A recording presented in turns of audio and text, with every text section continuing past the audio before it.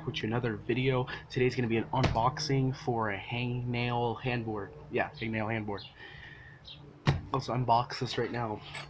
So with this unboxing, I don't know, let's see, every review I've seen online or on YouTube, I cannot for the life of me find like a bend test or like a durability test of the handboard because what I want to know is how does a bend in the middle and stuff because my old handboard it's like really cheap so it bends all the way to the ground. So let's see what's the durability on this.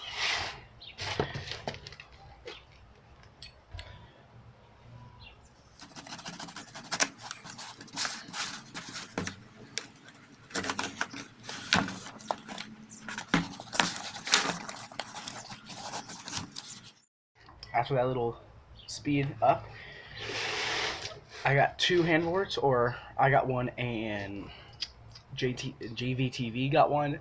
His channel, I think he's gonna post one, so I'll link that video below whenever he makes it. This is his right there. Boom. I think it's called Swirlicious. I didn't get that one. I really really didn't like it, but I got the Chillicious, the blue one. Yeah, got that one. So Got a I got a paper right here for the billing. So this not needed. This is thanks Jeremiah. So that's my name. So we're good. So looks like we got two stickers, one for me, one for him. Boom. Hangnail handboard. So that's cool. I'll throw his sticker right there. Nothing else in the box. So there. So let's open this handboard. I'm really glad someone started making this I'll link their link, their website down below. Really glad that start, people started making hand handboards again. So yeah, because Tech Deck ones are very hard to come by and very expensive. So it was pretty. It was 19.95. We bought two, so I think it was 39 something for both of them. So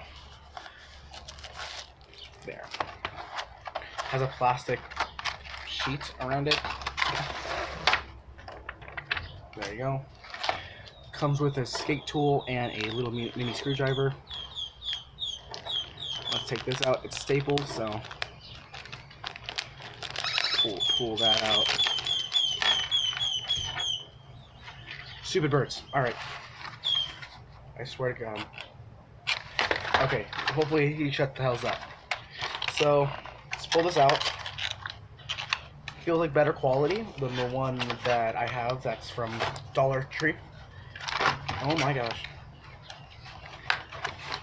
I don't care about this box. There it goes. It's not tight or anything. So, really super grippy. So, yeah, it feels cool. Trucks feel like metal-ish. There.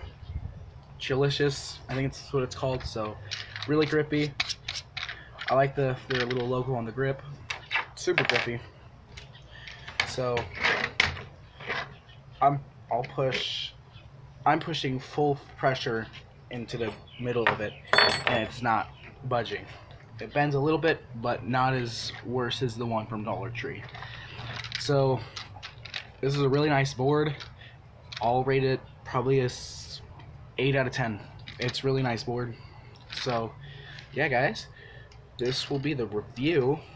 Know it was a short video, but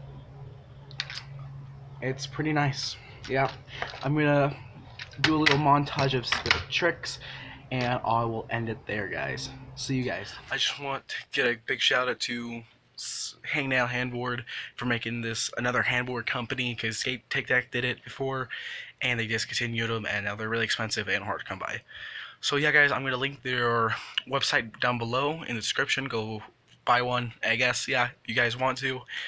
And I'm gonna leave my friend JVTV in the description.